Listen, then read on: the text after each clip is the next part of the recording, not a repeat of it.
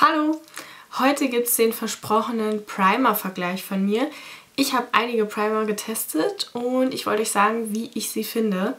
Ich stelle euch kurz die Primer vor und sage euch, ähm, wie ich sie finde. Also erst zeige ich euch kurz alle, damit ihr wisst, ist überhaupt was dabei, was euch interessiert. Ich habe einmal getestet den Pixie ähm, Primer, Flawless Beauty Primer. Den habe ich ja bei ähm, HQ bestellt.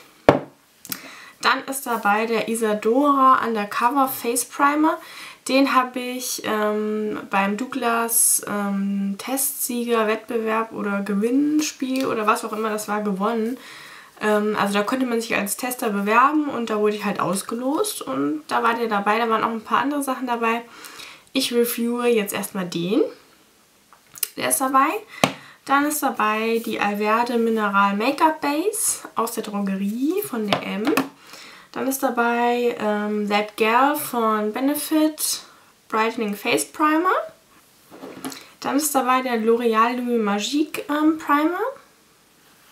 Ich weiß nicht, ob es den in Deutschland gibt, keine Ahnung. Ähm, der war mal bei einer Foundation dabei, also bei der L'Oreal Magique war der mal dabei. Und dann noch den äh, Clarins Eclat Minute Complexion Perfector. Der ist dabei. Ähm, also zwei ähm, Drogerie-Primer, der Rest ist eher so High-End. Ähm, genau, womit fange ich an? Ich fange mal mit den Drogerie-Primern an, den von Alverde. Ich hatte euch auch schon mal ein Video gemacht mit ähm, vier neue äh, Alverde-Produkte im Test, kann ich euch nochmal verlinken. Meine Meinung hat sich seitdem nicht geändert. Ich war damals schon nicht so angetan und bin es auch immer noch nicht. Ähm, also es ist halt soll das, äh, die Haut auf Make-up vorbereiten, ebenmäßig erstrahlen lassen, optimiert die Haltbarkeit des Make-ups. Ich muss ehrlich sagen, bei mir macht er nichts von alledem. Ähm, ist natürlich auch ohne Silikone und so weiter. Und ähm, ja, also es ebnet das ähm, Hautbild eigentlich gar nicht ähm, bei mir. Ich schüttel das, weil ich euch dann gleich noch so Swatches abfotografiere. Und ähm, ja, kostet, also die Preise schreibe ich euch nochmal unten rein, weil ich sie nicht alle auswendig weiß. Ich glaube 3,45 kostet da, sind 30 Milliliter drin. Ohne Konservierungsstoffe und so weiter. Ähm, ja, finde ich nicht wirklich gut. Also macht leider nichts. Ähm, deswegen bei mir eher durchgefallen. Ähm, meine Mutter, meine Schwester haben den auch. Habe ich erfahren, die finden den total toll. Also ähm, es ist sehr unterschiedlich. Ich finde ihn nicht so gut. Aber vielleicht auch, weil ich noch viele andere getestet habe. Und ja, ich kann ihn nicht weiterempfehlen. Also ich würde mir da eher einen anderen holen.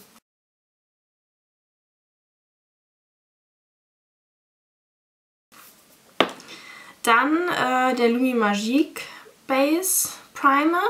Ähm, das ist so einer mit Leuchtkraft auch ähm, Effekt. Also der, der hier ist halt matt von Alverde. Und der hier hat so einen Perlmuttschimmer, äh, seht ihr da gleich noch auf dem Foto. Ähm, kann man auch super als Highlighter verwenden. Also den hatte ich auch schon mal hier so drauf. Sieht wirklich sehr schön aus. Ist natürlich sehr viel Silikon drin, aber okay, es ist halt ein Primer. Ähm, ich finde, das Gesicht strahlt dadurch auf jeden Fall mehr. Und es verlängert die Haltbarkeit des Make-ups ein bisschen. Also jetzt nicht so, dass ich sage, es ist ein Wunderprodukt, aber ein bisschen. Und ja, finde ich ganz gut. Ähm, sind 20 ml drin. Ich weiß nicht, was der kostet. Ich weiß, wie gesagt, auch gar nicht, ob es den hier gibt. Weil ich hatte mal mitbekommen, dass es den nur in den USA gibt und hier mal so eine Beigabe war. Weiß ich jetzt nicht genau. Müsstet ihr mal nachschauen. Also ich finde ihn okay, ähm, würde ich mir aber auch nicht nachkaufen.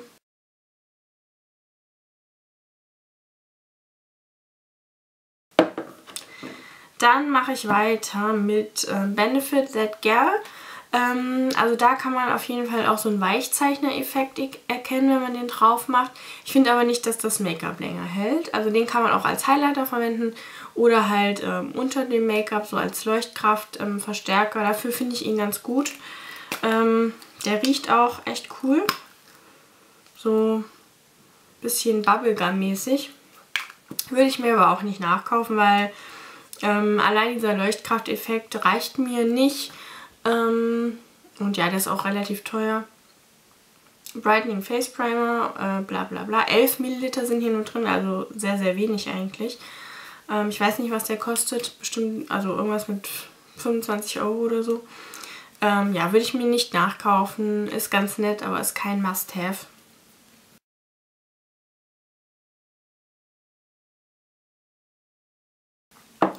So, dann meine drei allerliebsten Primer kommen jetzt. Ich fange mal an mit dem Clarin Eclat Minute. Den habe ich in der Farbe 02 Champagner Schimmer. Also das ist wirklich so ein leuchtkraftverstärkendes Produkt. Also ähm, die Haut strahlt auf jeden Fall viel mehr, wenn man den drauf macht. Allerdings muss ich auch hier sagen, hält das Make-up ein bisschen länger, aber nicht viel länger. Also es gibt nur einen Primer, der das bei mir ähm, geschafft hat. Den seht ihr dann gleich. Ähm, ich finde ihn sehr, sehr schön. Er ist sehr doll parfümiert, was ich irgendwie nicht so mag. Also von mir aus müssten die alle nach nichts riechen, was die meisten auch tun, aber der riecht echt doll. Kann man auch als Highlighter alleine verwenden oder halt unter der Make-up. Ähm, Finde ich sehr cool. Also würde ich mir auch nachkaufen. Da sind 30 ml drin. Der kostet auch bestimmt 25 Euro. Ich schreibe aber nochmal die Preise unten rein. Genau, und das ist hier in so einem schönen Pumpspender. Die Verpackung finde ich natürlich auch wunderschön. Ähm, ja, kann ich weiterempfehlen, ähm, finde ich sehr, sehr schön.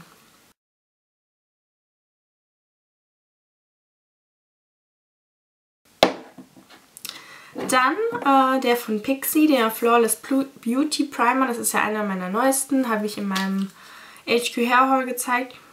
Der riecht eigentlich nach nichts, was ich sehr gut finde. Ähm, das ist die Farbe 01. Ich glaube, da gibt es auch nur eine Farbe. Der kostet um die 25. Ähm, der ist wirklich wunderschön. Also der macht ähm, das Hautbild auf jeden Fall feiner. Ich habe ihn nämlich heute drunter unter der Foundation. Ich finde auch, dass das Gesicht mehr strahlt. Ähm, das Make-up wird auf jeden Fall dadurch verlängert. Also das sieht man immer ganz gut am Blush. Ähm, das hält länger. Ähm, also das ist auf jeden Fall ähm, Platz 2 bei mir. Platz 1 kommt dann gleich.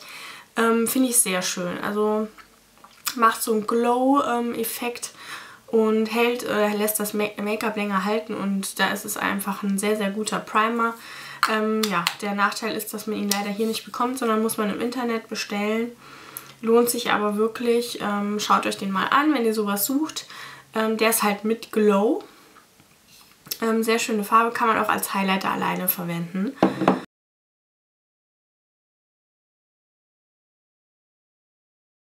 Ähm, dann mein absoluter Testsieger und Liebling ist der von Isadora. Also eigentlich bin ich überhaupt nicht der Isadora-Fan. Also ich kaufe mir eigentlich gar keine Produkte von der Marke. Und ich bin sehr froh, dass der Primer ähm, in dem Testpaket dabei war. Ich war völlig äh, unvoreingenommen. Also ähm, das ist wirklich meine eigene Meinung. Ähm, ich bin sehr begeistert von dem Primer. Also das Make-up hält wirklich den ganzen Tag. Ich merke das jetzt. Ich bin jetzt immer auf der Arbeit, acht Stunden und dann noch drei Stunden fahren abends ist das Make-up immer noch da und auch der Blush ist noch da. Also das ist mir wirklich aufgefallen. Ähm, es macht die Haut sehr weich, das Make-up lässt sich ähm, besser auftragen. Das hätte jetzt aber keinen Glow mit drin. Also ich würde sagen, die beiden sind meine Lieblinge. Der ist mit Glow, der ist ohne Glow.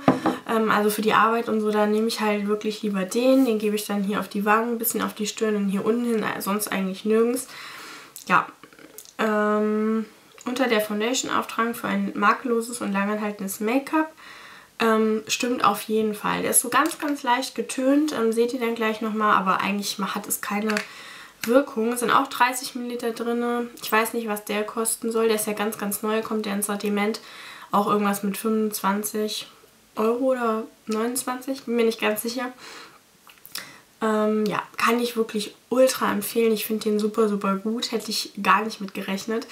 Ähm, ja, den würde ich mir auf jeden Fall nachkaufen. Also das, die beiden sind meine absoluten Favoriten von Pixie und der von Isadora. Ähm, wie gesagt, den, wenn ihr strahlen, mehr strahlen wollt, noch in der, wenn das Make-up viel länger halten soll und wenn ihr es besser auftragen wollt, das Make-up.